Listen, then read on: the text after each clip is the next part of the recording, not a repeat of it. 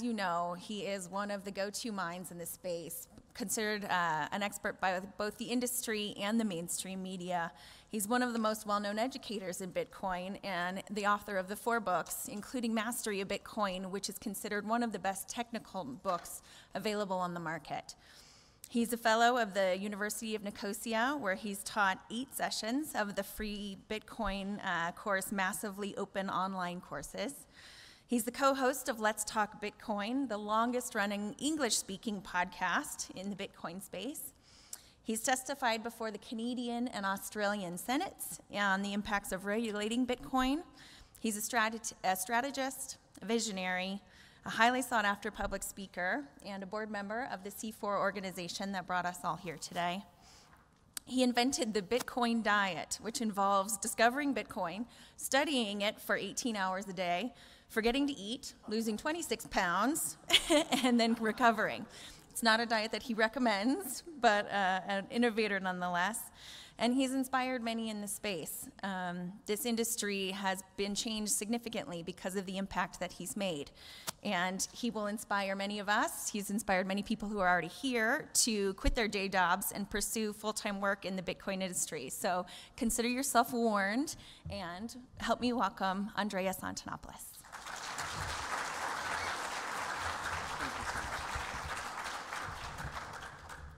That was a lovely introduction. Thank you so much, Anna. All right, welcome everyone.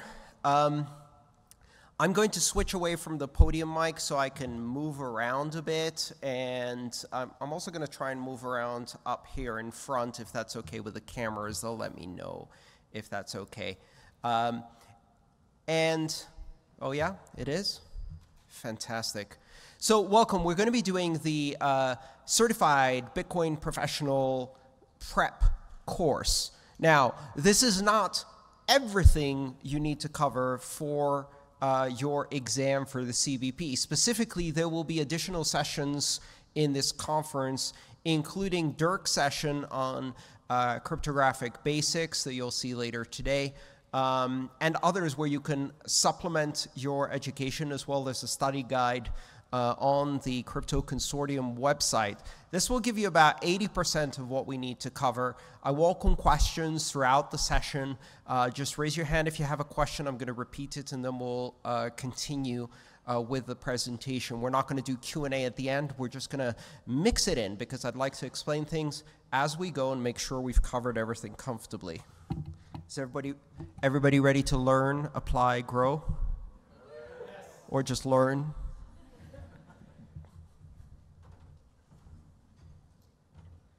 So let me, uh, let me switch to this mic, see if it works.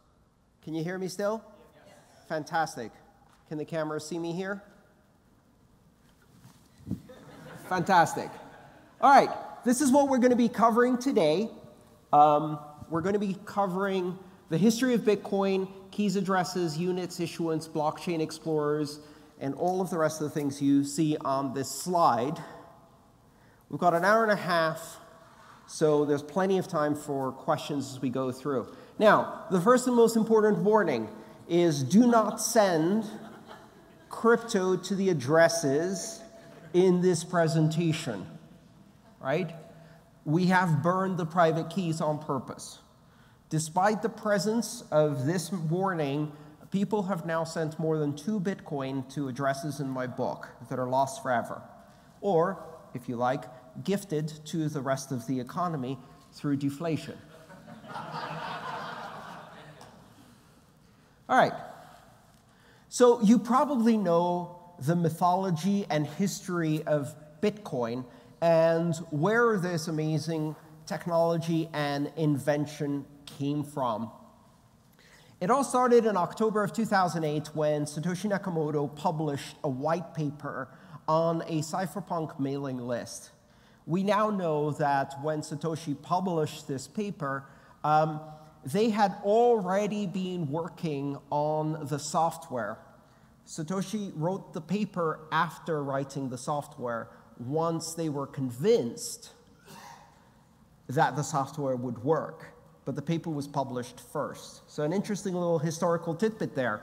You may notice that when I talk about Satoshi Nakamoto, I refer to Satoshi as they. This is not necessarily a plural noun, they. It's a indeterminate pronoun. So they, because Satoshi could be male, Satoshi could be female, Satoshi could be non binary, Satoshi could be alien. Um, Satoshi could be a group of people. Satoshi could be the name of a committee or project. We don't know. It does not matter at all. In January, um, the software was released, and on January 3rd, the first block, the Genesis block, was mined. Interesting fact also, the Genesis block was not mined with the client, it was mined using some other software, manually, effectively mined by a custom script, and is included in every piece of software that uses Bitcoin. There is a copy of the Genesis block and its fingerprint. That is what Bitcoin is. Bitcoin is a blockchain that originates from that Genesis block. Seven days later, Hal Finney, a world renowned cryptographer who unfortunately passed two years ago, uh, joins the network and starts mining. At this point, there are two miners on the network.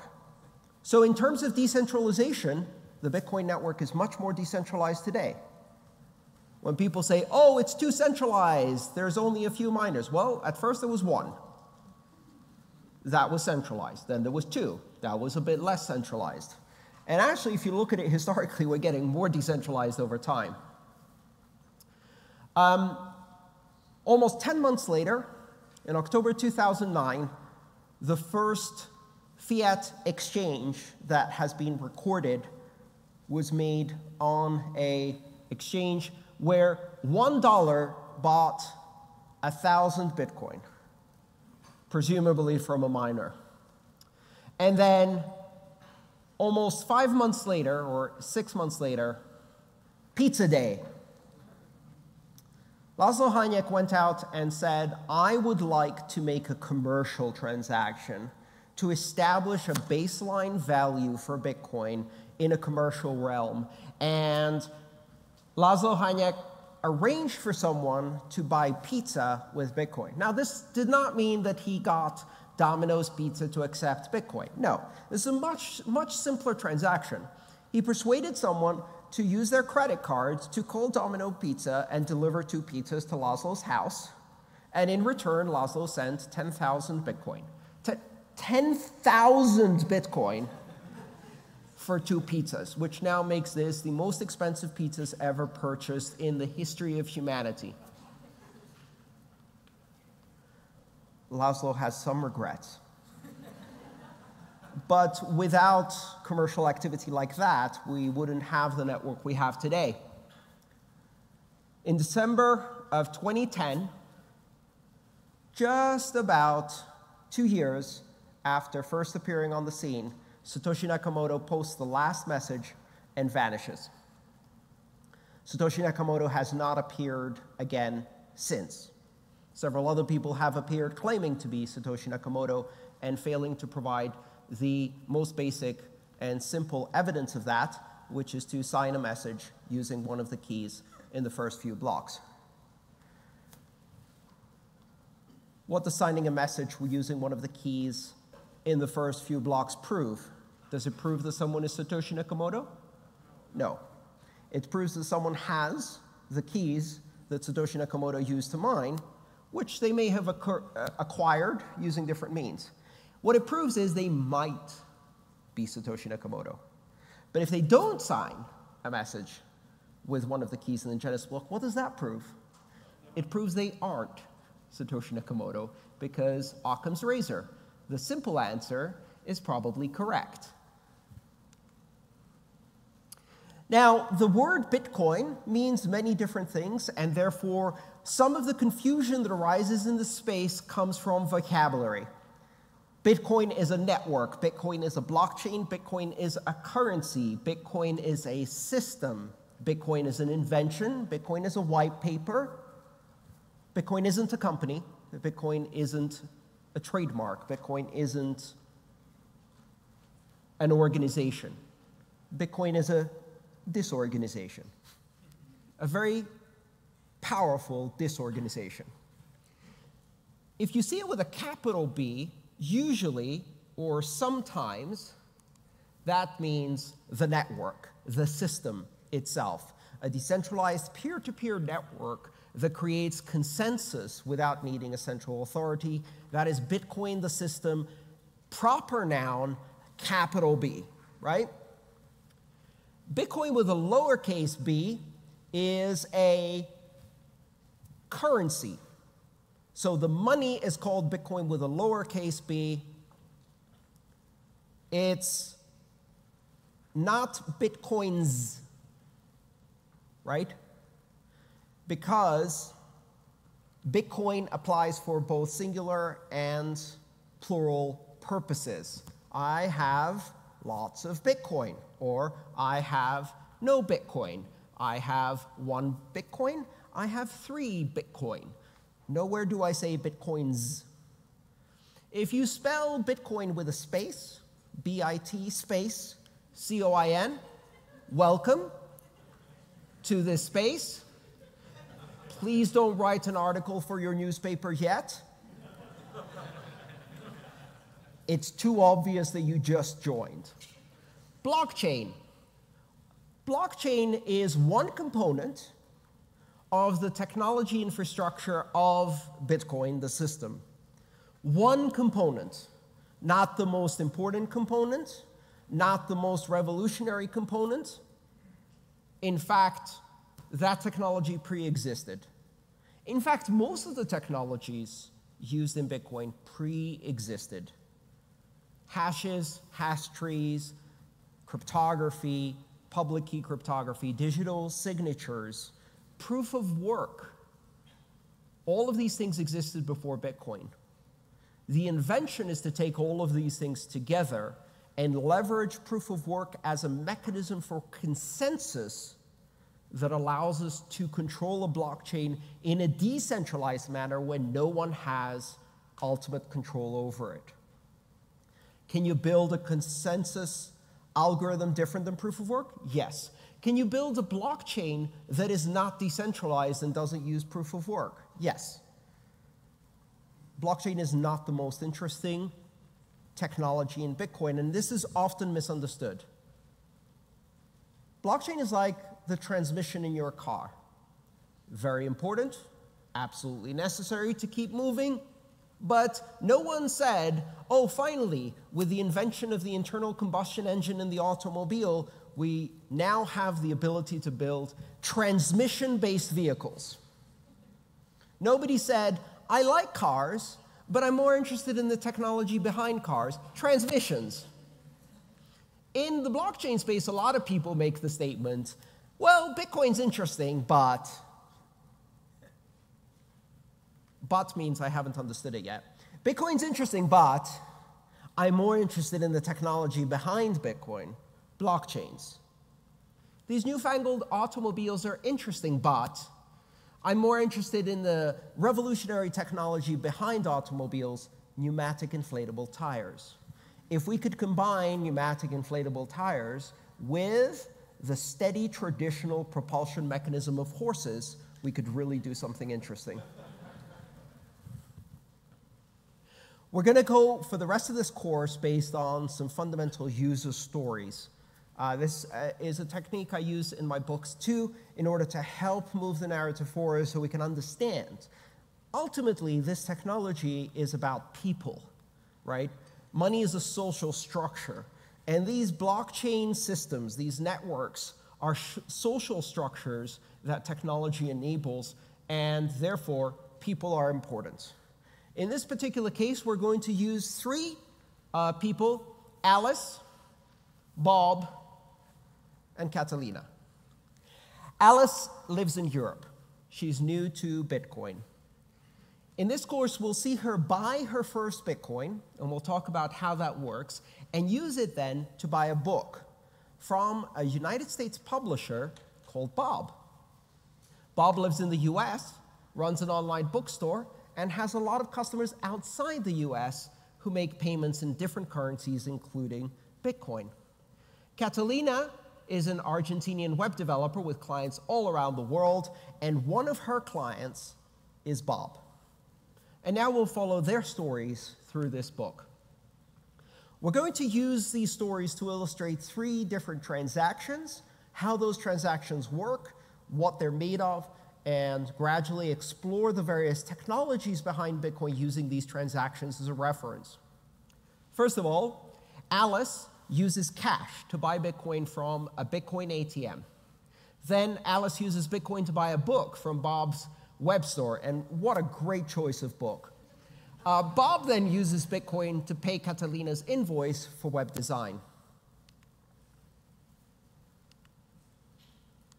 So let's start with Alice buys Bitcoin from a Bitcoin ATM. How many here have used the Bitcoin ATM ever? Okay, wow, quite a few. Very good. So, how do you get your first Bitcoin? And that's a question that comes up a lot, especially with newbies, right? And the common answer most people will say is, oh, go and sign up for an account on this exchange, and they mention an exchange, and use your bank account or your credit card to buy Bitcoin. That is an acceptable answer. It's not a good answer. So let's look at some good answers. First and foremost, earn. Get paid in Bitcoin. Most people don't even think about this one, right? What are the benefits of using your labor, the products you make, the services you offer, the skills you have to earn crypto. This doesn't just apply to Bitcoin, of course, but any form of money. The huge benefit of earning crypto instead of buying it is privacy. If you go and offer someone a haircut or drive a taxi or wash a car or paint a painting or set up a web server and you get paid in Bitcoin, are they going to ask you for your driver's license, passport, birth certificate, grandma's maiden name, social security number, passport number, proof that you're not Iranian? No. You're going to get the job done, you're going to get paid in crypto. So you just earned your first crypto, and it's private. It's a private commercial transaction between two individuals. Privacy matters. Secondly, what is the exchange fee you pay when you earn Bitcoin? Zero. That is the best exchange fee to pay. Zero. Nobody's going to charge you a fee. In fact, in many countries, you might actually get a premium for that. You don't always have to be self employed to do that. Many companies offer an opportunity to get paid directly in crypto, either as your whole salary or as part of your salary. I currently employ 11 people, some as employees, some as contractors. Several of them get paid partially or wholly in crypto. Some Bitcoin, some Ether, some a mix of the two, bit of US dollars in the mix, maybe some euro. Just mix it all up and pay your people. So you can earn in a variety of ways, including as part of your wages. There's also companies that can help you do that, even if your employer has no idea what this Bitcoin thing is that you keep talking about. So what they can do is they can become a payroll provider where, just like you take some of your payroll out and put it towards a savings account or an, uh, a retirement account, and your, your employer is quite happy to deposit to a different bank account. Well, some of these providers will take that and convert it instantly to Bitcoin and send it to you. So your employer doesn't even know that you're getting paid in crypto. You're just having it converted each time. That does carry an exchange fee, though, and all of the identity requirements. Of course, you can buy crypto from an exchange, and that's one way of doing it. You can buy Bitcoin from a Bitcoin ATM using cash. In Europe and many uh, countries around the world, Bitcoin ATMs are completely anonymous. You don't need to provide any ID to buy or sell Bitcoin. Some of them are two way. You can send Bitcoin in and it spits cash out. Very useful if you're a tourist in a foreign country. Uh, much better way to get cash in the local currency than using a, an exchange. In the US, 99% of Bitcoin ATMs will require you to identify yourself by providing some kind of identification document, and they will charge you quite a bit. This is because of state based regulations on money transmission. You can also buy directly using cash from just people, right? And you can do that using an intermediary service like LocalBitcoins. And what they will do is they will make sure that the Bitcoin is in escrow so that neither party can run away with the money and not pay the other party. Now, obviously, meeting someone at the Starbucks to exchange um, some amount of cash uh, in order to exchange it for magic internet money may be risky, right? You want to do this in a public space exactly the same way you would if you were buying or selling something on Craigslist or eBay and you had to meet the other person in person, right? Don't go to an alley. You know where one of the best places to trade crypto is? A police station or a bank. They don't care. In fact, some police stations around the country have um, Craigslist zones where you can go right under the cameras and do your transaction next to the police station so everybody feels safe. Well, you can use one of those. And finally, you can trade your belongings for Bitcoin. Sell your car for Bitcoin. Has anybody done that? Yes, I have. I sold a Mini Cooper at 11 p.m. on a Saturday night when all of the banks were closed to a person who wasn't in the state at the time, in a completely different state, paying for his cousin to buy the car. Three confirmations, here are the keys.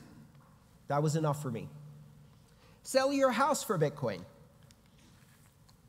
All right. So, what Alice is going to do is she's going to use one of these techniques to get Bitcoin, and the preferred technique she's going to use is a Bitcoin ATM. Now, reminder Alice is in Europe, right? So, she's going to use euro. And she's going to put 80 euro in cash, let's say four 20 euro bills, and feed them into this little machine over there. You see it has a little slot that's for feeding in the cash. And then she's going to receive from the Bitcoin ATM 0.026845 Bitcoin. When I did these slides, that was the exchange rate. We'll talk about that in just a second. Everybody clear so far? Okay, quick note, because I noticed some of you are trying to take notes or take pictures of the slides. The slides are available at bit.ly slash, all lowercase, AMA CBP prep. AMA CBP prep. They're publicly viewable. You can go to that link, download them, the Google Slides. And by the way, CC by SA, Creative Commons, Attribution, Share Alike, as long as you link back to the originals, you can do whatever you want with these. You can publish them, you can sell them, you can create webinars, you can do whatever you want. Everybody clear on that? Everybody got that? bit.ly slash AMA CBP prep. All right, so this is the Bitcoin vending machine. On the left-hand side, you see four pictures of 20 euro bills, which I'm pretty sure is illegal in lots of countries to take photos of money and put them on a slide, but there you go. And those are not real money, but Alice is using real money, and she feeds that real money into the ATM, and the ATM spits out Bitcoin. How does it spit out Bitcoin? On the right-hand side, you see that little transparent partition? In there is a, an LED light and a camera. And that is the mechanism that this ATM uses to read a QR code off of Alice's smartphone, right? So it's a passive device. The way it sends Bitcoin is by reading Alice's destination address through that camera. So Alice shows the ATM a Bitcoin address, which we'll talk about in a bit, and that way the ATM will complete the transaction by sending that Bitcoin to that Bitcoin address. So, how much Bitcoin is, is 80 euros? How do we know how much Bitcoin is 80 euros? How does anybody know what the value of Bitcoin is? How many dollars is 80 euros today? Anybody know? How would you find out?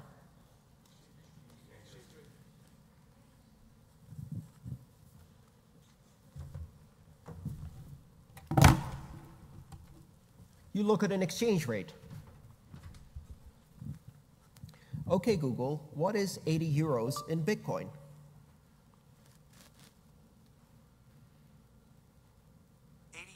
Equals 0.01 bitcoins. So we can find out quite easily. Uh, That's not magic technology. How does Google know? An exchange, a marketplace. So Bitcoin doesn't really have a price. People talk about the price of Bitcoin or the value of Bitcoin, but the thing is, commodities have prices. A banana has a price. A Bitcoin doesn't have a price, it has an exchange rate because it is money. Money doesn't have a price, money has an exchange rate, right? You don't say how much does a euro cost, right? You say what is the exchange rate between a euro and a dollar. Here's one site that can help us find out that information bitcoinaverage.com. There's many sites like this. You could go to a specific exchange and ask that exchange what the current price is. Here you can see Kraken, Bitstamp, GDAX, which is Coinbase, Bitfinex, and they're all advertising a price or exchange rate for Bitcoin. Do you notice something about this? Are the prices or exchange rates different? Which one's correct? All of them. Very good there is no one price. The price is something that is determined in real time on different markets based on the activities of buyers and sellers of cryptocurrency who are trading it in real time. So, what does BitcoinAverage.com do? It's right there in the name. It takes all of those numbers and it calculates a rolling weighted average weighted by what? Volume weighted. What does volume weighted mean? Well, if somebody trades one Bitcoin on Coinbase for a certain price, and somebody else trades 100 Bitcoin on Bitstamp for another price, which price matters more? The 100 Bitcoin, right? The volume matters. You shouldn't be able to change the average of an entire market with a small volume. So volume weighted means that each one of the averages is multiplied by the volume of transactions or trades that is happening on each exchange to arrive at a global average of price. Lots of different sites do this. CoinMarketCap, CoinCap.io, Bitcoin Average, and of course the exchanges have a pretty good view of what's happening in your area or country in that market. There may be significant discrepancies between regions. In some countries, people will find that Bitcoin is more expensive. I have this question come up often. People will say to me, Why is Bitcoin 20% more expensive in India? Bitcoin is not 20% more expensive in India. Rupees are discounted 20% in India. The reason you can't buy Bitcoin for the same price as in the United States is because once you buy it with rupees, the person who sold you that Bitcoin cannot export those rupees from India, and you can export the Bitcoin, which means that their money is less portable and your money is more portable. And when you trade less portable money for more portable money, the person who gets the less portable money demands a premium, right? Does that make sense? Right. How do you know that's true? Really simple. You go to India and you say, How much is a Bitcoin? And they give you a price in rupees. And then you say, Oh, no, no, no. How much is this in dollars? I have cash. And then they give you the exact same price as it is on Coinbase in the US. If you have dollars in India, the price you'll get for Bitcoin is the dollar price which proves that it's actually rupees that are 20% discounted, not Bitcoin that's 20% higher. Is this making sense to everybody? And you can do that experiment with different values or systems. You could buy Bitcoin with gold in India, and trust me, they'd give you a really good price for that. So, this is how price discovery happens. Have you all heard the expression price discovery? Not so many. Okay, why do we use the term price discovery? Price discovery is used as a term in economics because of the assumption that everything that has some kind of value, right, has a price or exchange rate, which is not set by markets, but it is discovered by markets. So markets are a mechanism for finding out what the real value of something is. How much is a banana worth to you? Right? if you create a market for bananas, the market will discover, on average, how much a banana is worth in whatever thing you're trading it for. So we talk about price discovery because in economics, the idea is that the market doesn't tell you what the price is because the market is setting the price. The market is trying to figure out, to discover what the actual value of this thing is. And the way markets do that is by looking at market movements. Has anybody seen this chart before? This is called an order book chart. Now, what this chart shows here is right at the middle is the price at which the most recent trade happened, right there. I don't have a laser pointer, so I'm going to use my shadow puppet system. At 3,745 US dollars, a trade happened here where some of the people who were selling and some of the people who were buying in green met each other and were happy to do a trade. The line you see going up to the right in red is all of the orders of people who are trying to sell Bitcoin and the price they want to sell that Bitcoin at. So somewhere here, You see that little spike? At about $3,780, someone is willing to sell 30 Bitcoin. So someone has put an order on this exchange and they're like, I will sell you 30 Bitcoin for 3,780. Who's going to buy that? Well, now, yes, in retrospect. On that day, in that market, right, nobody was willing to buy that. How do you know? Because here's where the buy orders are. Someone else is going, well, at 3,710, I'm willing to buy. Who's going to sell me? No one. Right? So there's a difference of opinion. This difference of opinion is called a spread, right? It's the spread between what is known as the bid price and the ask price. If I'm selling Bitcoin, I'm asking. So my order is called an ask order. And if you're buying Bitcoin, you're bidding to buy Bitcoin, and your order is called a bid.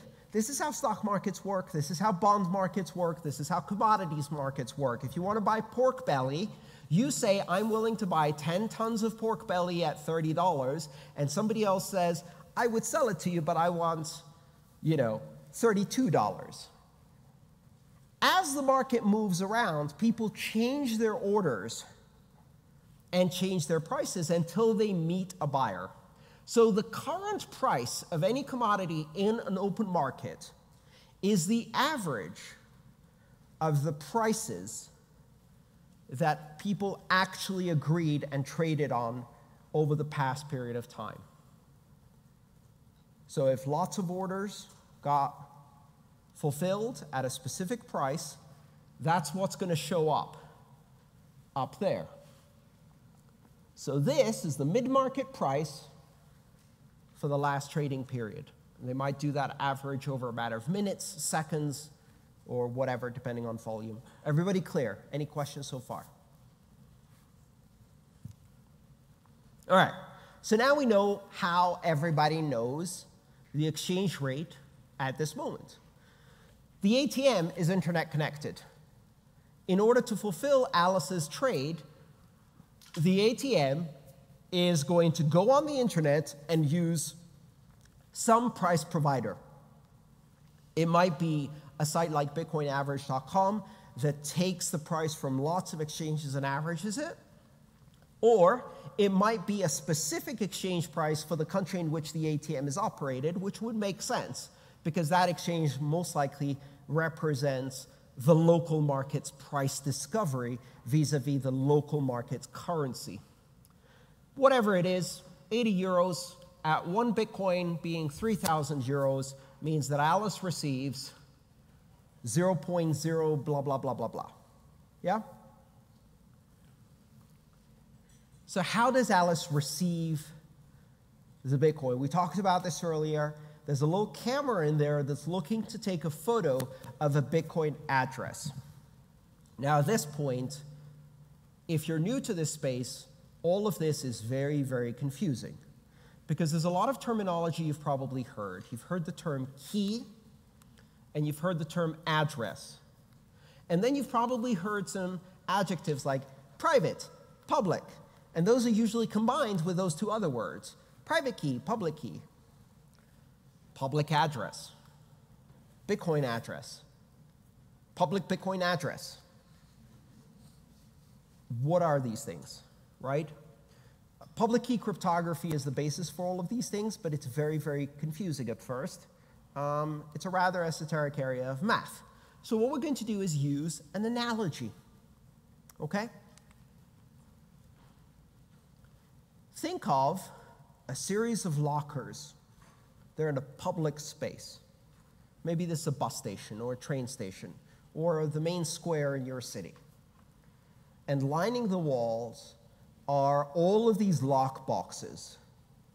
And these lock boxes are pin coded, right? So there's a little pin code keypad on the front.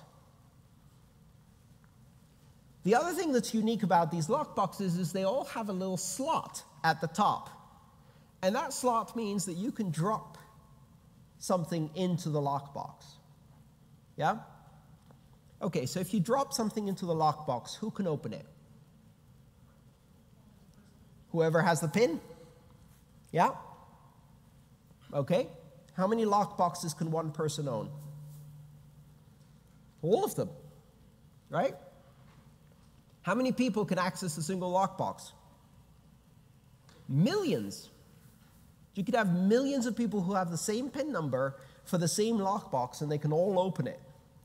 You could have a company representing thousands of customers that has one lockbox and a PIN number and holds that lockbox on behalf of its thousands of customers. So if I say there are a million lockboxes in Bitcoin that have money in them. How many people are using Bitcoin? We have no idea. When you next read that article that says, Bitcoin ownership is concentrated among X number of addresses, shock, horror, and dismay.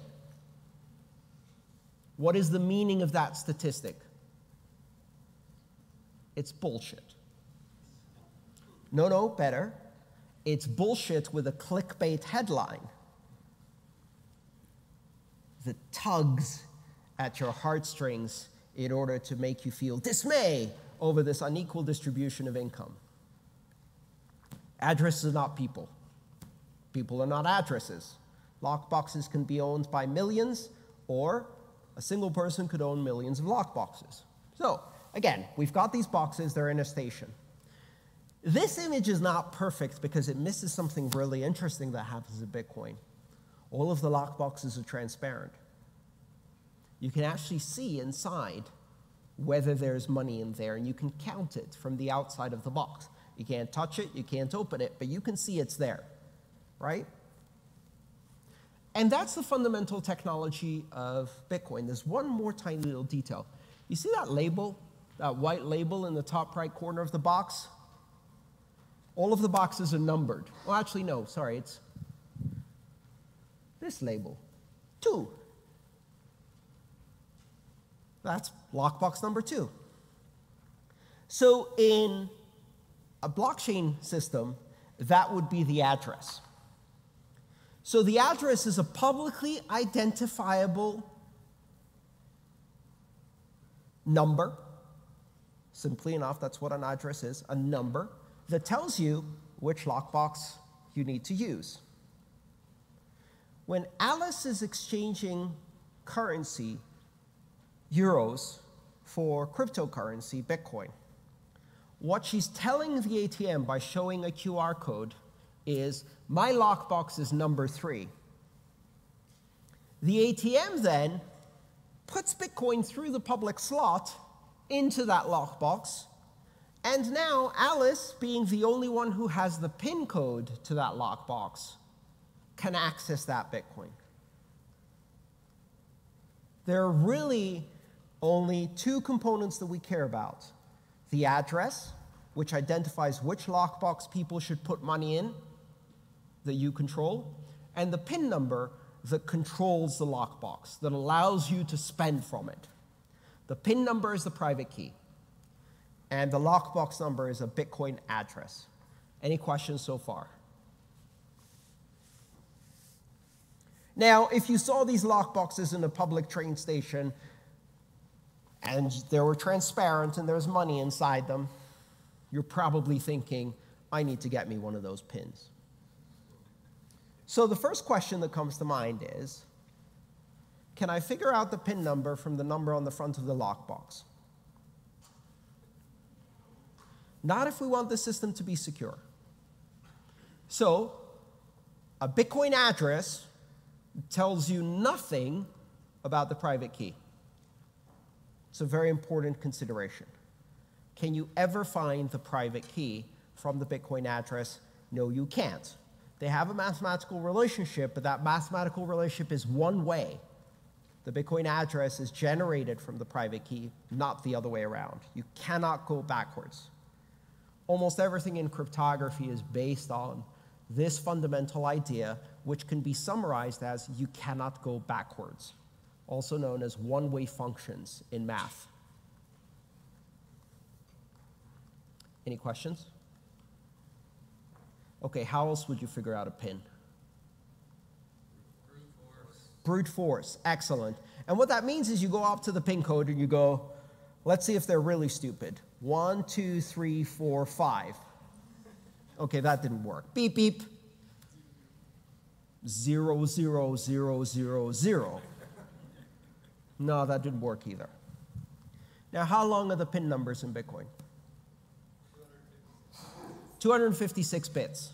And for those of you who are not computer scientists, what does that mean in decimal? 77 digit pins. 77 digit pins. So you could try 99999999999999999 times.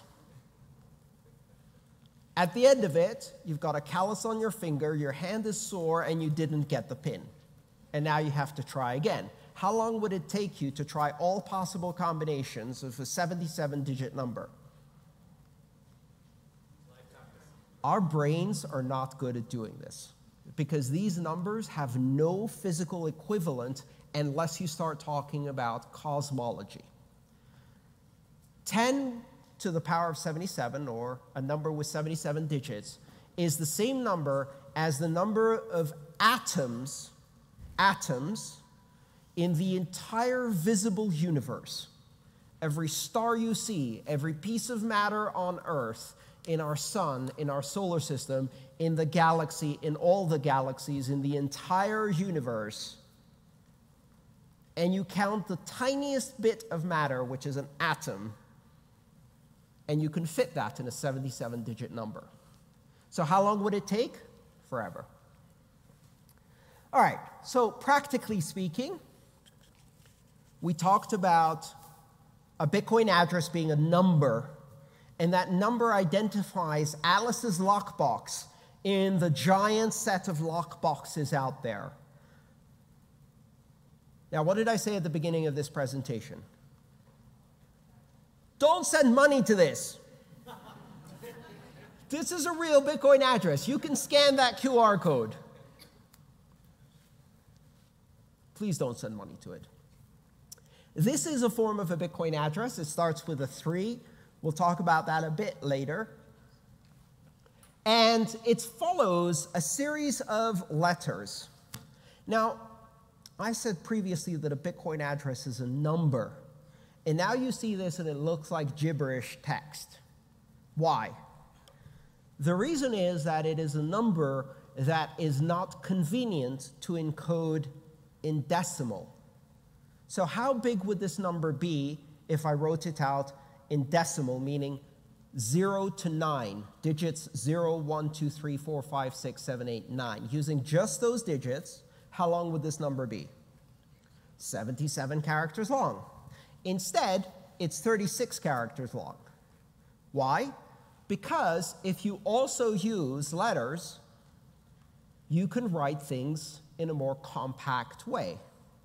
And this system of letters and numbers is called base 58. It's called base 58 because it is a 58 decimal system. That's not a real word. It means it's a system where each digit in the number is represented by one of 58 characters, not 10. So it's not decimal. It's not hexadecimal, as you may have heard of hexadecimal. Hexadecimal uses 16 characters to represent numbers, not 10 as in decimal, right? And base 58 uses 58 characters. Why 58? 26 lowercase plus 26 lowercase would be 52 plus 10 numeric digits would be 62. There's four missing. The reason there's four missing is because certain characters will actually cause problems. For example, a lowercase l and an uppercase o are often mistaken for 0 and 1 respectively. So, in using a 58 base system and removing those characters that may be ambiguously or easily confused, it makes it easier for humans to read this and transcribe it accurately. You never need to read it and type it out. I've been in Bitcoin since 2012. I can count maybe two or three times that I've had to type out a Bitcoin address on a keyboard very, very carefully. Because we use QR codes to do the same thing. A QR code is simply a barcode, and if you scan that barcode, what does it contain? This, just this. Sometimes it has a little prefix, Bitcoin, colon, and then that, just to help the system identify what it is. Any questions so far? Does everybody hate computer scientists for inventing base 58 and not explaining it in high school? Okay, very good. It's a bit confusing, but trust me, this is a number. It's just written with different digits than 0 through 9 uh, so that it's more compact. So, Alice shows the code to the ATM. The ATM photographs the QR code extracts the data within the QR codes, which you can do with any QR code reader, doesn't have to be Bitcoin specific, and in return receives a Bitcoin address, which is in the QR code. If you use your camera on your phone, not a Bitcoin wallet, just your camera, just the camera app, on Androids, it's called Lens, and it reads barcodes. I think on iPhone, it's just automatically, you just tap on the barcode. And then, oh, get shadow out of the way. Then you go and you scan this. Very good. And I have Bitcoin colon 37 blah, blah, blah, blah, blah. It's just a barcode. There's nothing magical about this. This is what I'm trying to demonstrate. There's nothing magical about the barcode. The barcode is just a way of writing that Bitcoin address in a way that a computer can read it very, very easily. One of the nice things about barcode technology is that there's more information in those dots than is needed to encode that. So that even if some of them are missing or smudged or um, the ink has faded, the cameras can actually still read the underlying information. They can reconstruct it from the rest of the dots, which is useful, right? Because otherwise it doesn't scan. All right, so the Bitcoin ATM then sends Alice Bitcoin. What do we mean when we say sends Alice Bitcoin? Well, it doesn't send, and it doesn't send to Alice, and it doesn't send Bitcoin. So that sentence is completely wrong. As we'll see now, we use that as people to communicate the action that makes sense to us. The ATM sent Alice some Bitcoin, only the ATM didn't send it because Bitcoin doesn't move. Bitcoin is always on the Bitcoin network. It's not in my pocket. It's not in my phone. It's not on the wallet. It's on the blockchain, always.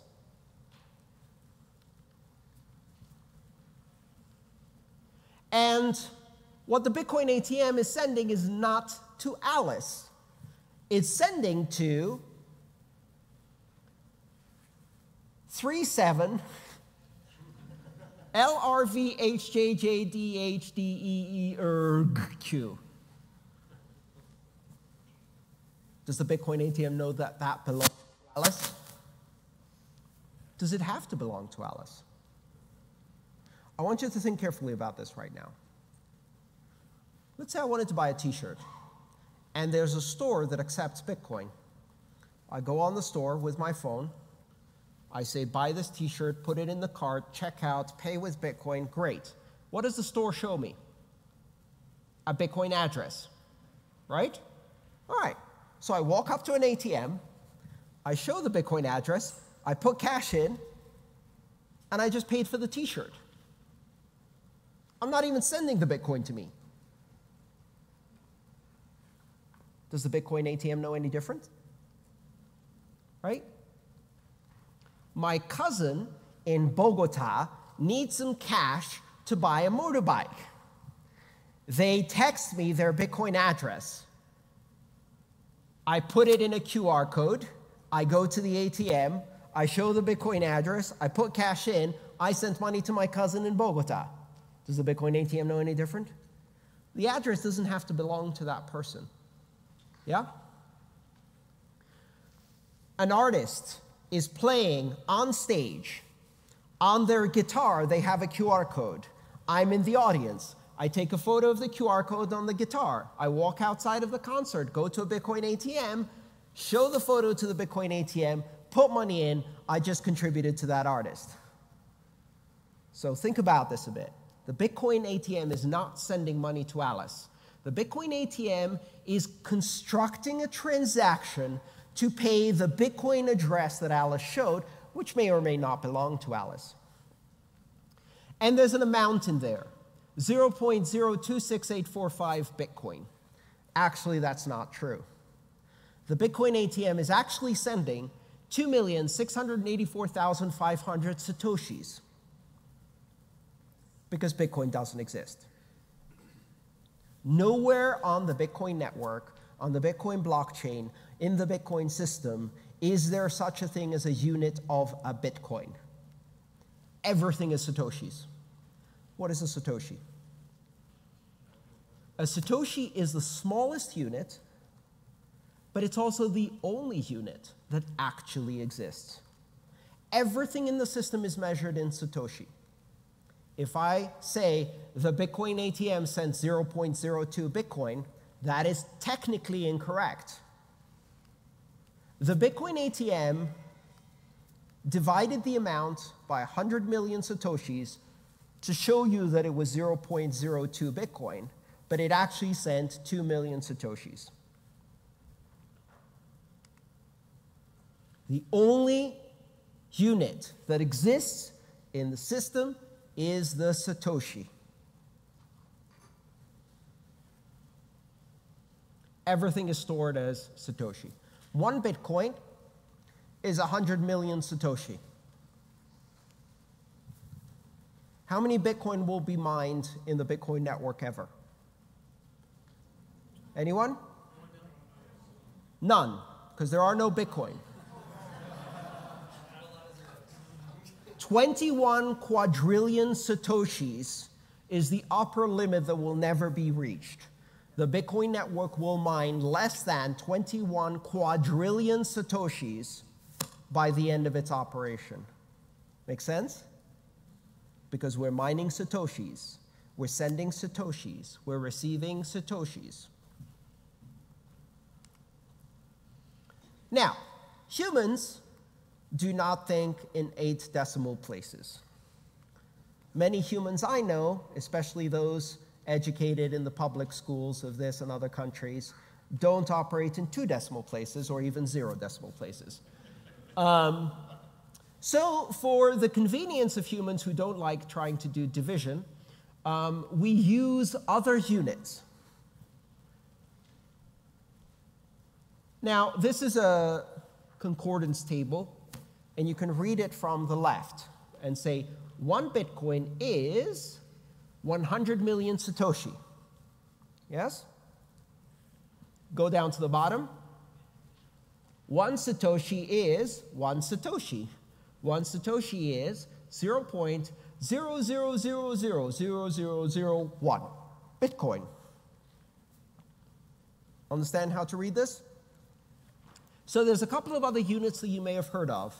Millibit is from the prefix milli, which means one thousandth, and is part of the international metric system used by every civilized country in the world. Ex, oh, never mind. Um, and a bit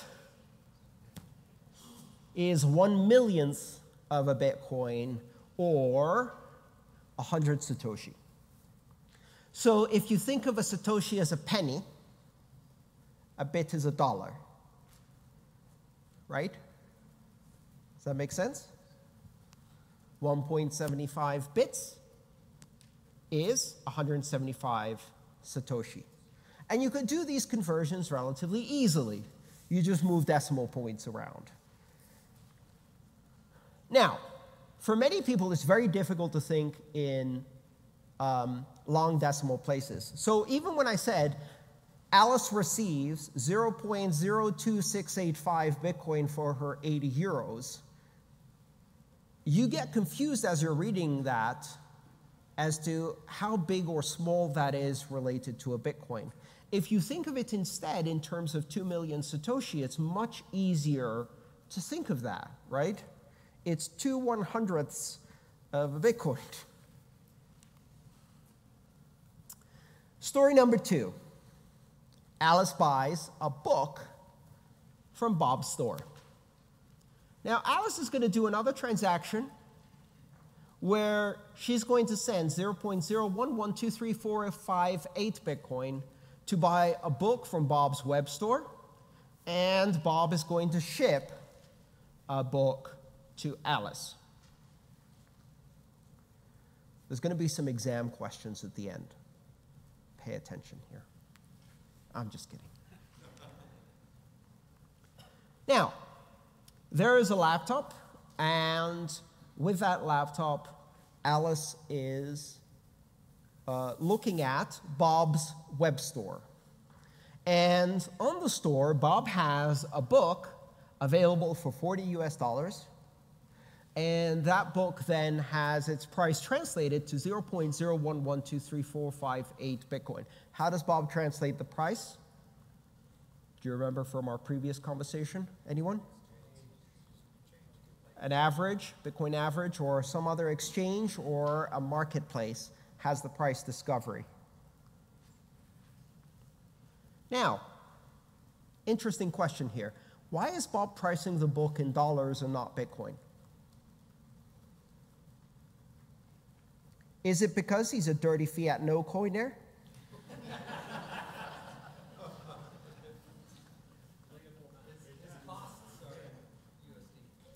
There's two reasons, and this is important. The first reason is that for the vast majority of people out there, if you say, hey, this is a, about a million, 1.1 million Satoshis, is that good for you? They're like. Um, is that a lot? Is it a little? What is it now? You know how the joke goes where the kid says, Dad, I want a tenth of a Bitcoin for my allowance. And the dad goes, What? You want $1,200 for your allowance? I can't give you $1,100. That's ridiculous. No kid your age gets $800. Volatility. Bitcoin is not a good unit of account. And the reason it's not a good unit of account yet is because the market is small and as a result it's still volatile. And it's volatile enough that it makes it impossible to price things. When we started this conference and planned this conference, Bitcoin was $3,600. I had people complain and say, Why aren't you pricing your tickets in Bitcoin? It's like because you would have paid three times the cost if you bought the ticket now instead of six months ago. That doesn't seem logical, right? And you'd probably, and if you wanted to refund, what am I supposed to do? Give it to you at the current price? At the previous price? In dollars? Or in Bitcoin? It's a problem, right? We don't use Bitcoin as units of account. So, one reason is volatility, difficulty for consumers understanding the price because Bitcoin is not good at pricing yet. The other reason, which is equally important, is Bob is running a business in a particular jurisdiction, in this case, the United States. Bob has to do accounting, Bob has to pay taxes. How does Bob pay taxes if he doesn't know the price of the things he's buying and selling? Guess what? The IRS does not accept Bitcoin. Right? Yet. Thank you. They accept dollars. The very meaning of the phrase legal tender is that it is accepted for payment of debt to the government. Bitcoin is not legal tender. Now, if I'm Bob and I'm trying to do accounting, it's a lot easier for me to say, I sold the book at $40. $40 today, $40 tomorrow, $40 next week. I'm getting different Bitcoin amounts, but that doesn't matter because the value of the Bitcoin at the time that I sold the book was $40. That makes my accounting very easy. I do all of my accounting in US dollars. I have to. And I say this not just in terms of Bob.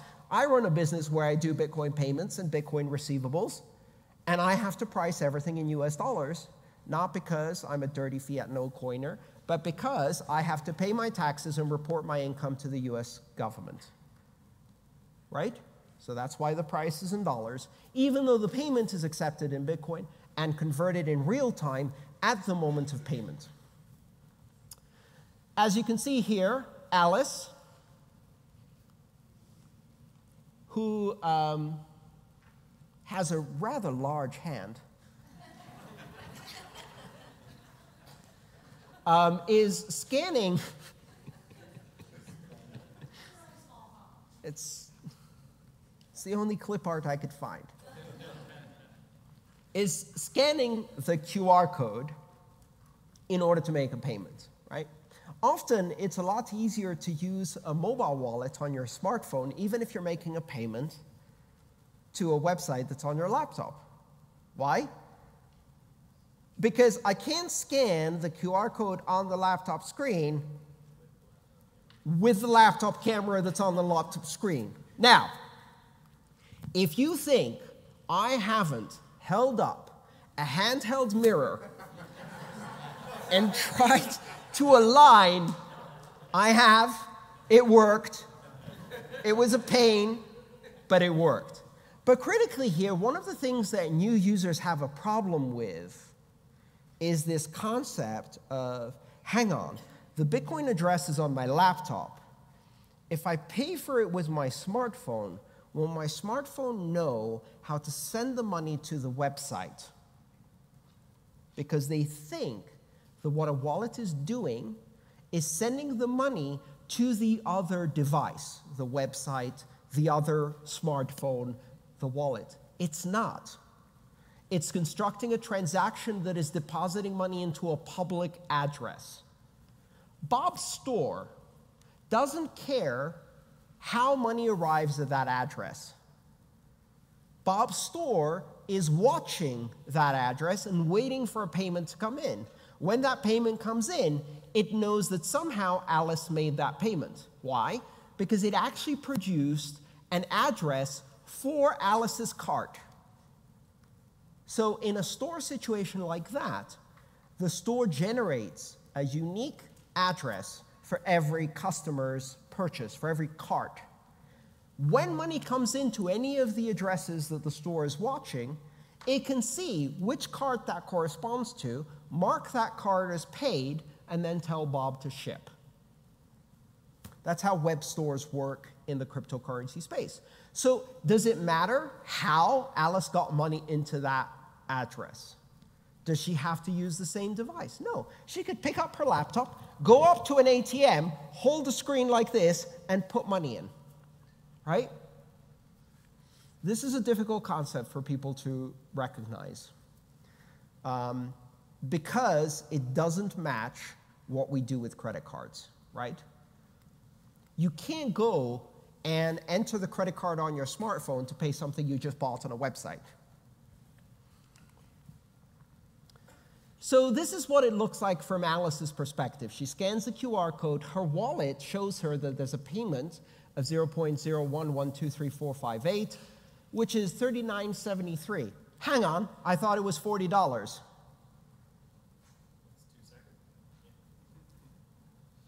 This was taken maybe a couple seconds later. Did the price change? Not necessarily. What's happened here is that Alice's wallet may be using a different provider for pricing than Bob's store. Right? Does it matter? No, because the price that Bob has charged her is the price that Bob's store is accounting in Bitcoin, which means Bob is charging her 0.011233458, whatever Alice's wallet thinks that is, which in this case is actually 3973. Everybody understand why this is happening? By the time Alice sends this to Bob, the store may see a different US dollar price, but it doesn't matter. Bob has effectively committed to that exchange rate for a period of time during which he'll do the transaction in order to sell that book.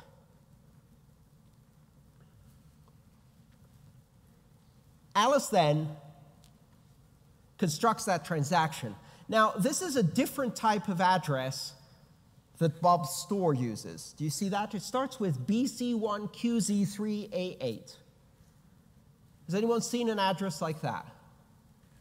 Does anyone know what that kind of address that is? Shout it out. Bech 32. I got you. That was a trick question. Nobody knows how to pronounce Bech 32, so I asked people to shout it out just so we can see what happens.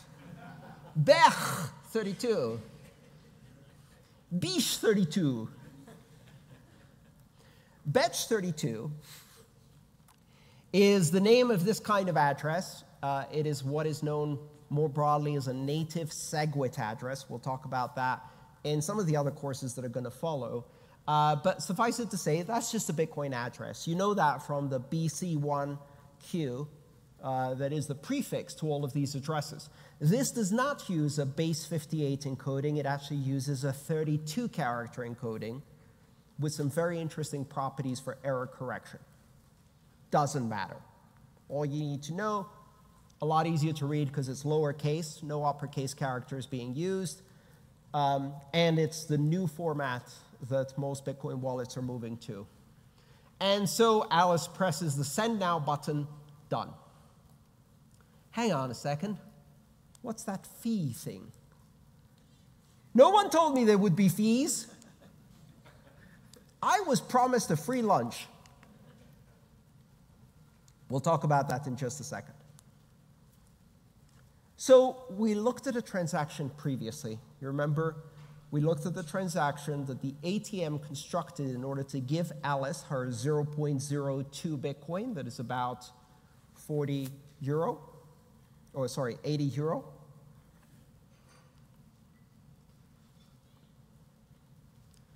And any transaction is composed of two parts, inputs and outputs.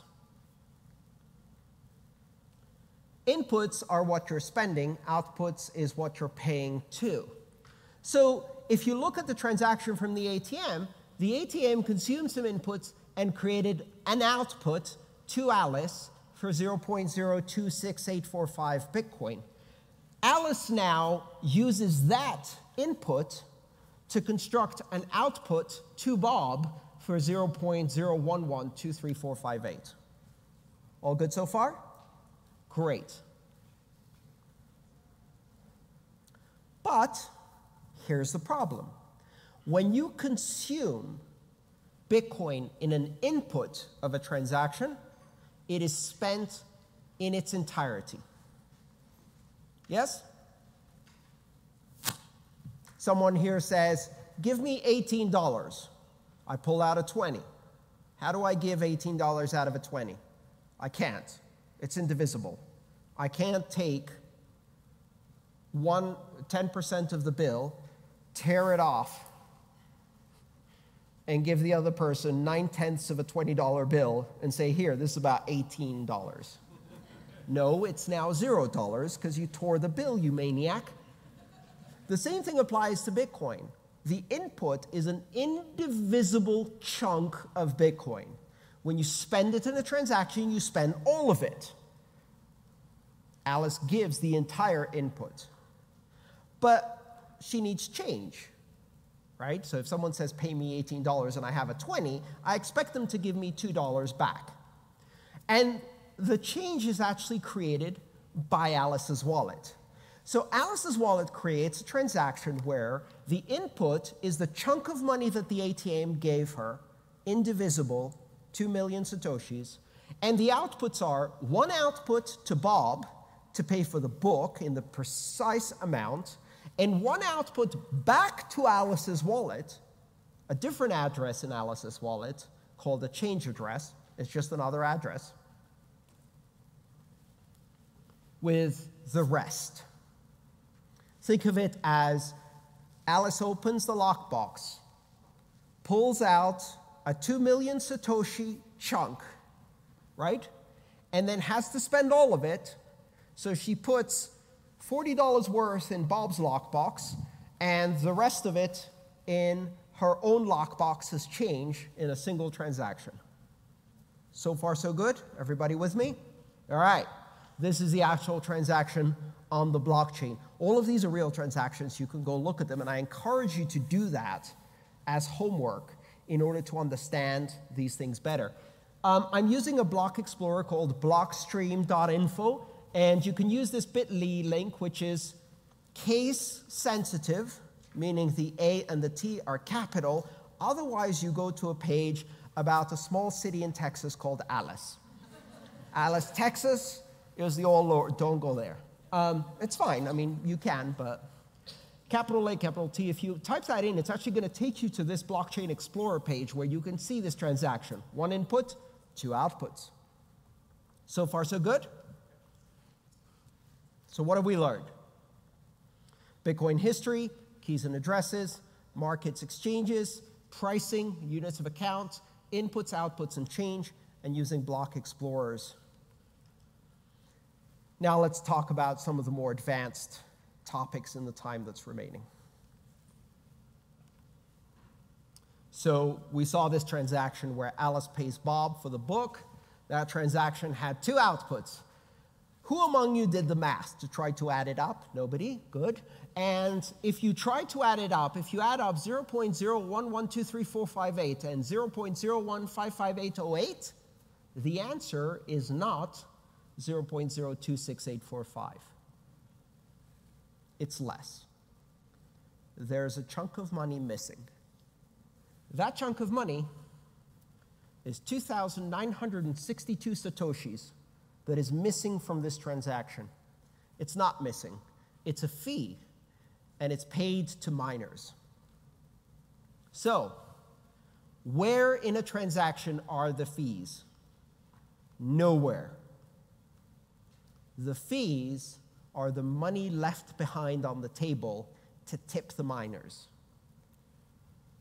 You pay at the restaurant, the waiter brings you change, you put some of it in your pocket, your change address, and you leave some coins on the table and walk away. That's the tip. That's how Bitcoin transactions work. Alice spent her ATM input, spent some of it to Bob, put some of it back in her own wallet as change in her pocket, and left some on the table 2,962 Satoshis. And that money will be collected by the miners as a fee for this transaction. What happens if you don't include a change address?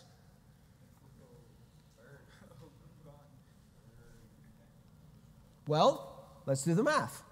The input is 0.02684500. The outputs are 0.01123458. The fees are, ouch, a million five Satoshi, 1.5 million Satoshi.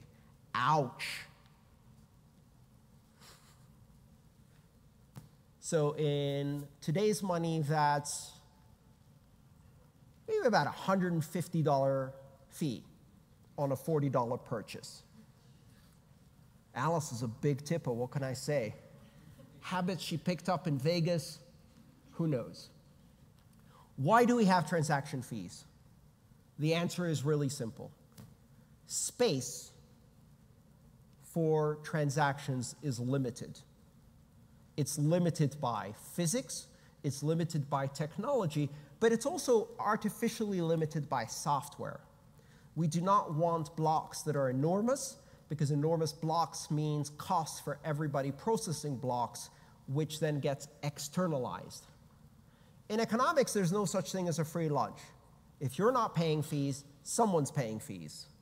You're either paying them in terms of inflation, you're paying them in terms of giving cartel advantage to a monopoly by centralizing access and control, or you could just pay fees.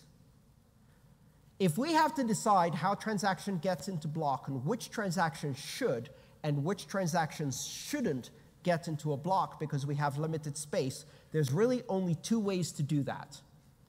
One is to specify in the software which are good transactions and which are bad transactions, what I euphemistically call a dictatorship of developers.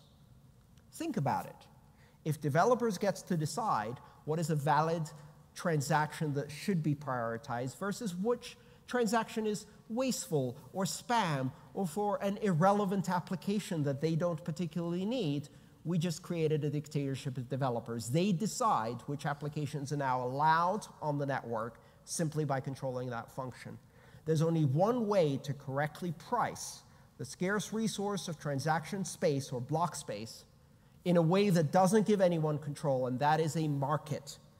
So fees operate as a market in order to give the freedom of the sender of each transaction to decide for themselves how important this transaction is and how much of a priority it has in their perspective. And in doing so, they have to compete against all of the other people who are trying to get their transaction into the block. And that competition for block space is the market for fee price discovery. Now, when transactions are transmitted into the Bitcoin blockchain, they're not automatically included in the very, very first block because there's more transactions than fit in a block usually. So what they do is they go into a holding space, and this holding space is called the mempool. There is no single mempool. Every system on the Bitcoin network has its own mempool, a picture of what it thinks remains to be confirmed or entered into the blockchain. This is the queue. This is where all the transactions are lining up, waiting for their chance to enter the blockchain. And as they're sitting in this queue, they're advertising themselves to miners, going, I have lots of fee, pick me, right? If you look at this with colors, the red color at the top actually corresponds to this transaction up here, one transaction that at this time was paying 2,000 Satoshis per byte. Why? Who knows? Because to the person who sent that transaction, that transaction was so urgent that they were willing to pay an enormous fee. Meanwhile, there's 8,333 transactions waiting with just over one Satoshi per byte. And those transactions are less important. Some are even not paying any transaction fee. Those don't get confirmed almost at all. It's actually difficult to do that nowadays. But with one Satoshi per byte, you will get your transaction confirmed most of the time eventually. I do payroll. In fact, I have to do payroll in three days. And some of my employees get paid in Bitcoin. I'm going to put a one Satoshi transaction fee on my payroll. Why? Because nobody cares if it arrives in eight hours instead of three hours instead of six minutes. Right? None of my employees are going to be, I need my payroll in 10 minutes. First block, please. Come on, chop, chop, tick tock. I got shopping to do. Compared to the banking system, 12 hours to get your paycheck from the moment it's cut by a company, that's super fast, right? Now, if I want to get into any block within the next 12 hours, I'm going to be a cheap ass about it. So I'm going to use the lowest fee. Now, what do you think these things are, these, um, these gaps here? What do you think this is? That's a block. I have a nice little picture to explain that. There's a miner. The miner is making a block. How do they make a block? They look at the pool of everything waiting in the queue and go, I'll take these. And they take a big chunk off. The, oh, this is a simplification of the algorithm. There's no big yellow digger involved. Um, and this is not an endorsement of Volvo. Um, but what the miner is effectively doing is skimming the most highly paying transactions off the top until there's no more space in the block they're trying to make and they filled it. Why? Because they're trying to maximize their profit. So they take a chunk out. And you see that in the mempool. All of those transactions that drop out of the mempool, the reason they drop out is because they just got confirmed in a block. And now the rest of them are waiting. Now, at some points during the day, when you look at the mempool, you'll see that it gets all the way to the bottom. And that means that all of the transactions that were outstanding, it just goes flat. Great, everybody got in.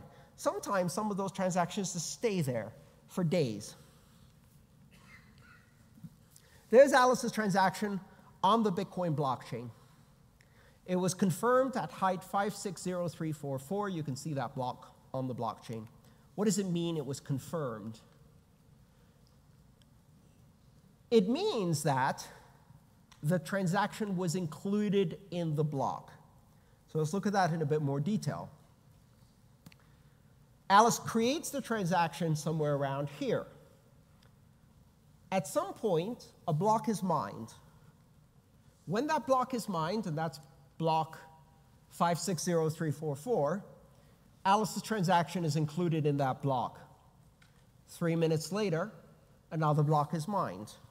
20 minutes later, another block is mined. Blocks get mined on average every 10 minutes. On average is one of those tricky English phrases that doesn't mean what you think it means on average every 10 minutes does not mean every 10 minutes. Just like the average American family has two and a half children. Have you seen a half children? and which way would they cut it? Left to right? Top to bottom? Who gets the bottom part? Definitely not a good plan. On average, every 10 minutes means that sometimes it takes 40, sometimes it takes an hour, sometimes it takes 30 seconds. Over weeks, it's almost precisely 10 minutes if you average it all out, because the network is tuned to maintain that heartbeat. But sometimes you wait a long time for your block. Can I get a time check for the end of the session? 22 minutes left? Very good. All right. So now let's look at it in terms of time, right? This was in terms of blocks. This is in terms of time. Alice creates, signs, and transmits a transaction paying Bob's address $40 or that amount in Bitcoin. Bob's wallet that's running on the web store is watching a lot of addresses. Maybe Bob has lots of customers with lots of carts and lots of addresses simultaneously buying products. Presumably, you want Bob to be able to sell more than one product at a time. So, Bob's wallet is watching all of these addresses. What does watching mean? It means that Bob's wallet is connected to the Bitcoin network and has told the Bitcoin software that he's running, please tell me if any payments happen to the following list of addresses, right? That's what the software is doing. Now, Bitcoin operates as a broadcast network, which means that when you send a transaction on the Bitcoin network, you shout it. It's called a flood or gossip protocol. So, what you do when you're on the Bitcoin network, what, Wallace, what Alice's wallet is doing is it's talking to all of the Bitcoin nodes that it has direct connections to, and it's gossiping, it's flooding, it's shouting a transaction. It says, hey, I have a transaction, blah, blah, blah, blah, blah, blah, blah. The other nodes go, oh, good, new transaction. Let's see if it's valid. Yep, that's valid. I'm going to tell everybody I know about it. And they tell all of the nodes they're connected. And each one of those nodes looks at the transaction and goes, huh, let's see if it's valid.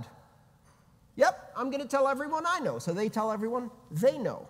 And the transaction spreads really, really fast. Within 15 seconds, it spread to the entire Bitcoin network all around the globe. Within 15 seconds, anywhere in the world, Bob's wallet is going to see a notification that says, hey, one of your addresses received a transaction. Or, Bob, you've been paid with the AOL voice, which you probably remember if you're in your 40s like me. Now, at this point, the transaction is not confirmed. What does that mean? It's not in the blockchain. It's sitting in the queue. It's in the mempool. It's in Bob's mempool. It's in Alice's mempool. It's in the mempool of every single Bitcoin node on the Bitcoin network. And at this point, everybody's waiting to see the next block. This may take some time. Is Bob in a hurry to ship this book? Well, this is the beauty with physical product. It's going to take days or weeks for that book to reach Alice. Bob can wait 10 minutes. So, what Bob's wallet is doing is it's waiting until this transaction is confirmed in a block because it may never be confirmed. If it's not confirmed, Bob didn't get paid. Bob only got paid if the entire transaction is in the blockchain and the entire world knows that Bob got paid. Until that moment, Bob hasn't been paid. There's a transaction out there. Now, for a book, Bob can wait. But what if it's a Starbucks? What if you just bought a cup of coffee? Like, thank you, that will be a large latte. Oh, yeah, that's $12. Oh. okay. Ouch. Um, here, let me send you a transaction. Thank you so much. It's confirming. We'll wait. Uh, please wait. This gentleman's transaction is confirming. Any second now, plus or minus 40 minutes. this doesn't work, right? But think about it this way How often have you bought coffee from a Starbucks and not had to sign or enter your PIN with a credit card? Well, if you haven't signed or entered your PIN, can you reverse that transaction on your credit card? Absolutely, you can. You can call the company and go, I didn't buy a coffee. I haven't signed or put my PIN in. I want my money back. And they will give you your $12 back. And Starbucks will be out one coffee and down $12. They don't care. The reason they don't care is because, in terms of risk, the number of people who would charge back that coffee versus the delay they would have to wait to make sure they actually got paid or had to wait for someone to sign or put a pin in, They can serve three other customers, and it doesn't matter. The same thing applies with blockchains. If I'm selling you a coffee, I don't care if it's confirmed.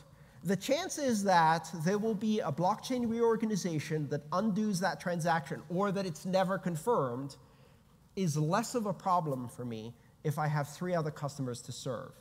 Now, if you're buying a flat screen TV, I'm not going to let you walk out of the store until it's confirmed at least once, maybe twice.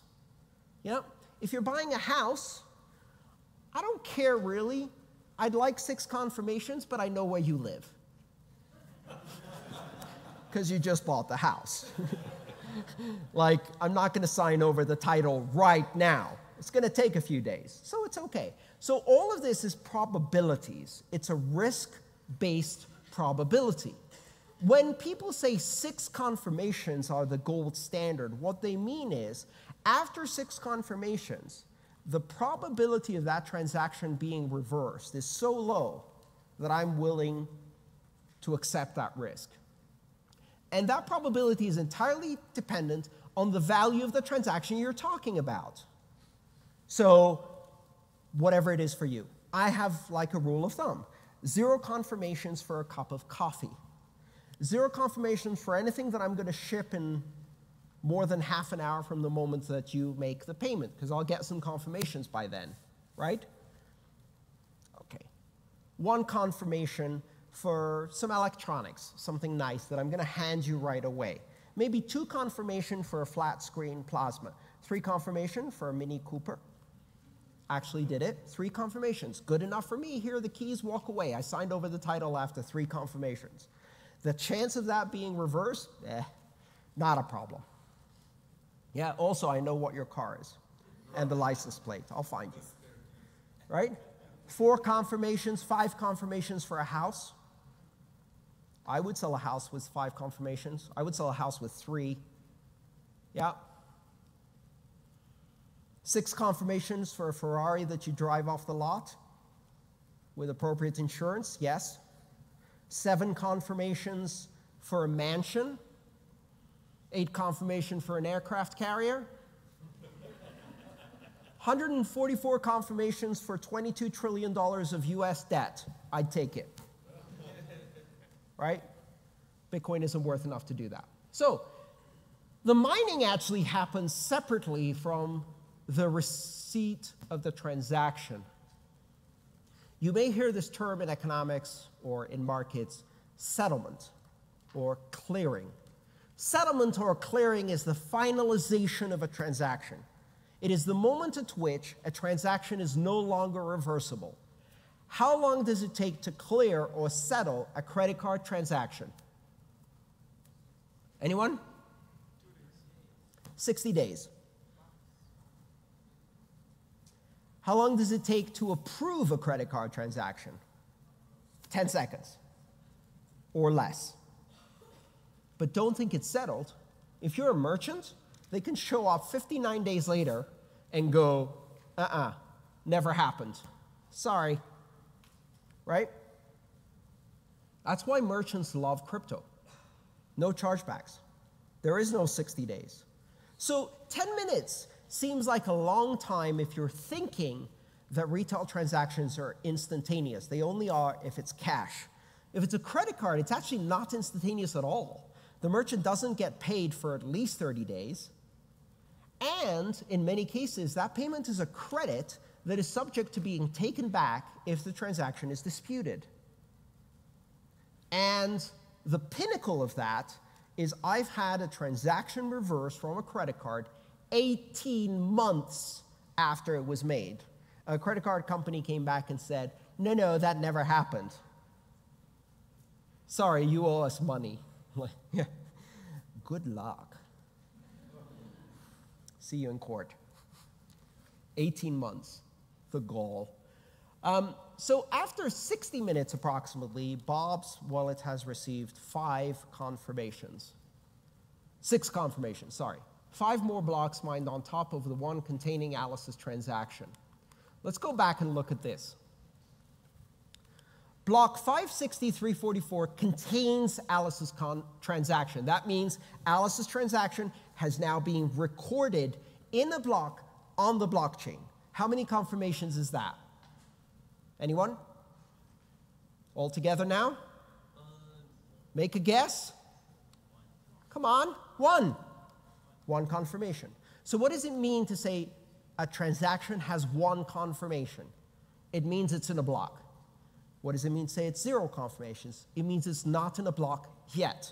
It's in the mempool. When it goes from the mempool to a block that's actually been mined, it's in the blockchain now. It's in that block. That block is one confirmation. All right? So if block 560344 is one confirmation from Alice's transaction, what is block 560345? Two confirmations. Now, this is where it gets a bit confusing. Alice has received two confirmations on hand transaction when one block has been mined on top of the block that contains her transaction. We count one for the one that has her transaction, one block for the one above her transaction on top of her transaction. That's layered on top. So we're building up, right? Two confirmations. Three confirmations with block 560346 six confirmations at block 560349, which is five blocks after the one that Alice's transaction was in. Yes? The block it's in is one, and then we layer on top. What's the upper limit on how many confirmations a transaction can receive? Anyone? What is the maximum number of transactions you can have? There is no maximum. How many transaction confirmations approximately has Hal Finney's transaction from 2009 received so far? 560,000 or more confirmations, and every 10 minutes, one more. So if you look at a really old transaction, it's going to say this transaction has 300,000 confirmations. All that means is that it was mined 300,000 plus one blocks ago. Yes? Now let's look at our final example of the day, and we'll wrap things up and get done with this. Now, Catalina wants to get paid for web design. Catalina has a software development company in Argentina. Now, she operates in Argentinian pesos or ARS, right? ARS, Argentinian pesos. I would love to tell you that that's the exchange rate. Things have not been good for Argentina since I wrote these slides. Um, so she's charging 10,000 pesos. And in that time, 10,000 pesos was 262 US dollars. Her invoice is actually written out for 10,000 pesos because that's how she prices her services because she operates in the currency that is legal tender in Argentina, which is Argentinian pesos, right? Bob agrees to pay that. How does Bob figure out what the exchange rate is in Bitcoin? Bob converts pesos to dollars, dollars to Bitcoin. Why? Because Bob has to do accounting in dollars. So Bob has to put in his accounting system I paid $262 and then convert that into Bitcoin and pay 0.0781178 Bitcoin, which Catalina will account for as I received 10,000 pesos. Is this making sense? So you see this double exchange rate that happens when you're doing two national currencies, but the payment is in Bitcoin. This is critical to understand how you do accounting. We have some other classes for that too.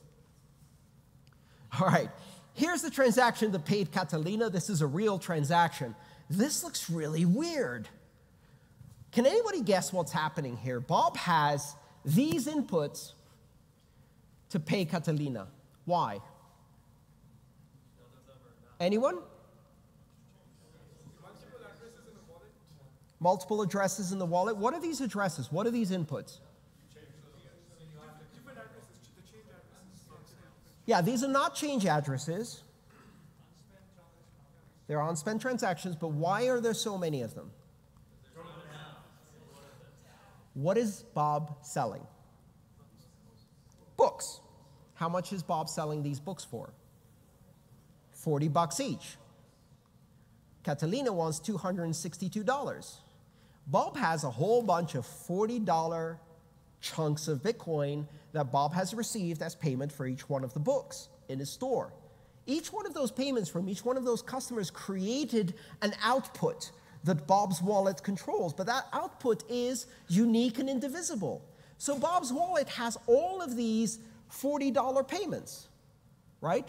Only they're not $40 payments. They're $39.73 payments. They're $39.82 payments. They're $41.72 payments because the Bitcoin price keeps changing. So while he's selling $40 books, each of the little payments that comes in is slightly different. Bob's wallet needs to take all of these unspent chunks of Bitcoin, which we call UTXO, we'll talk about that in a bit, and aggregate them together to make a payment to Catalina, right? Have you ever been in a convenience store where the person in front of you goes, How much is that um, bottle, please? $2. Oh, okay. 10 cents, 20 cents, 30 cents, 30, 10 cents. That's what Bob's wallet is doing, right? He has a bunch of loose change. Now, this loose change could be millions of dollars per payment, but each payment is unique and indivisible. Each output can only be spent in its entirety. There's two ways Bob could make this payment. They might have the exact amount in a UTXO and pay that to Catalina. Done. Easy. Unlikely to happen, doesn't consider fees, all kinds of complication. Most likely, Bob has a slightly larger amount, pays that, gets change, pays the fees. So two outputs, one input.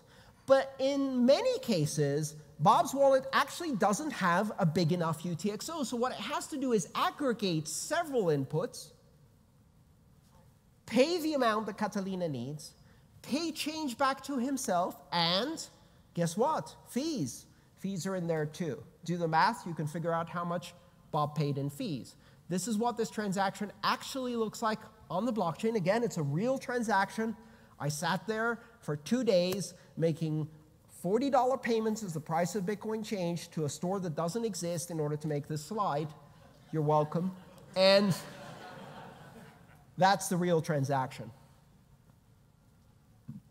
We're going to wrap up by explaining the blockchain now that we have a much broader picture of all of these components. It starts with what's known as the Genesis block. We count that as block zero because we're programmers and we're annoying in that way. Uh, we count from zero. So block zero is the Genesis block. Block one is the next block in the sequence, and it points back to block zero as its so called parent. The parent block is the block that came before, the child block is the block that came after. Every block has a parent right? Which is the block it was mined on top of as a child. And inside each block, there is a reference to the parent block. This creates an unbroken chain. If you take the block that just got mined while I was talking and you look inside at its parent and you follow that back one block, and then you look at its parent and you follow that back one block, and you keep doing that, 580,000 blocks later, you're going to arrive at the Genesis block in an unbroken continuous chain all the way back to January 3rd, 2009. Each of these references is in the block header, and the block also contains transactions. I'm going to run a bit late, but not too much. Now, if you were to go and try and change one of these transactions here, what would happen is you'd be modifying the data in this block. If you modify the data in this block, the block hash changes, which means that the next block is now not pointing correctly, which means that you'd have to change the next block as well, its child, because it no longer has a correct reference. But once you change that block, to update its parent, its block hash changes, which means you need to change its child to update it, which would change its block hash, effectively forcing you to remine all of the blocks from that moment on, right? This is how we achieve immutability in Bitcoin. Every block contains transactions. Those transactions are summarized in a hash. That hash is referenced by the child block so that you can't actually change it. And that reference is then reflected in its child, and its child, and its child, and its child in an unbroken chain. So a chain goes two ways. It goes back all the way to the Genesis block, but the ripple effect of a hash change is carried forward to all subsequent blocks, invalidating them, which is why you can't change the past. Each block also has an amount of Bitcoin in it. This is called the block subsidy or the issuance, the reward for mining. Miners earn Bitcoin. Where do those Bitcoin come from? New Bitcoin, because each block contains new Bitcoin. In the beginning, 50 Bitcoin per block. After four years, that dropped to 25. Then it dropped to 12 and a half, which is the current block subsidy for Bitcoin, 12 and a half Bitcoin. In 2020, it's going to drop to six and a quarter Bitcoin, then three and an eighth, then 1.7 something, and it will keep going down until it's one Satoshi and then zero. Creating this asymptotic geometrically decreasing supply, which is probably the most famous characteristic of Bitcoin, as in, there will never be 21 million Bitcoin. In fact, if you play out the Bitcoin system, it will mine 20 million. 999,999.9997 Bitcoin, or something like that. Just short of 21 million. There's a great site called the Bitcoin Clock, which you can find. Um, and it shows you in a clock format time to the next halving of the supply. So we say every four years, Bitcoin's supply is reduced by 50%, but in fact, it's every 210,000 blocks, which at 10 minutes per block is approximately four years. But because of the difference in timing, that can change by weeks, right? It might happen a few weeks early, it might happen a few weeks late. It depends on how, how accurately that timing will be executed by the Bitcoin network. This is again the meaning of on average, which means really not most of the time.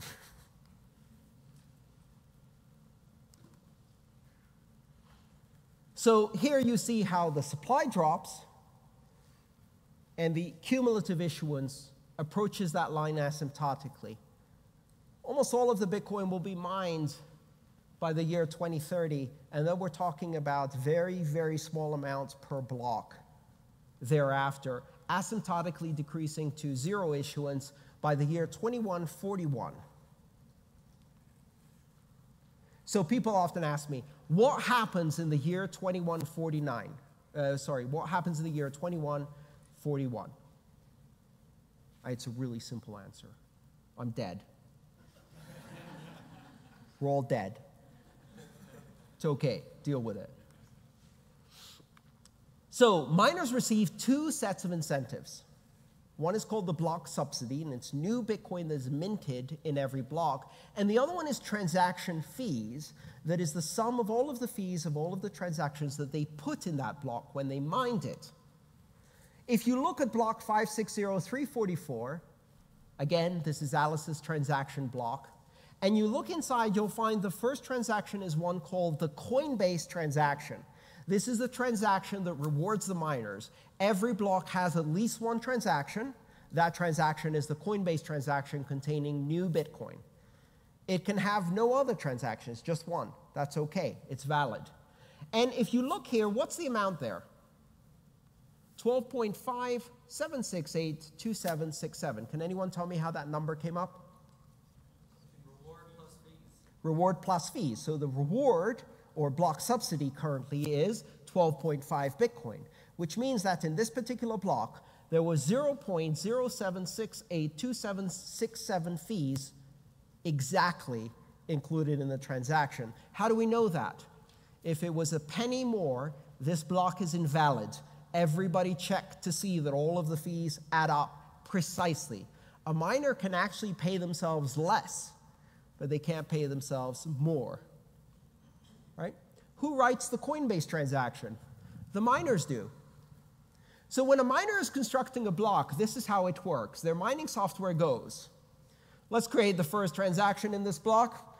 I generously give myself 12.5 Bitcoin. No, wait, we got some fees. 12.57627285.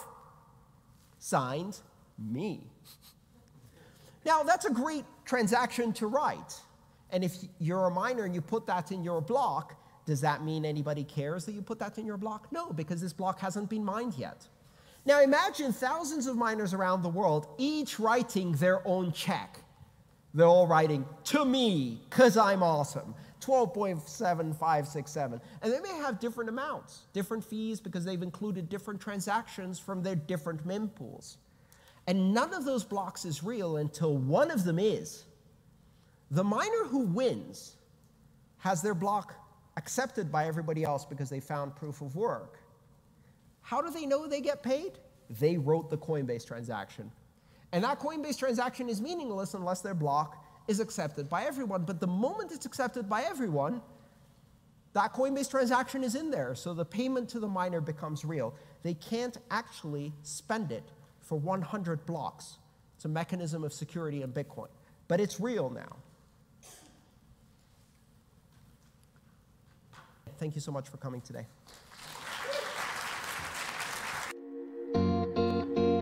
If you enjoyed this video, please subscribe, like, and share.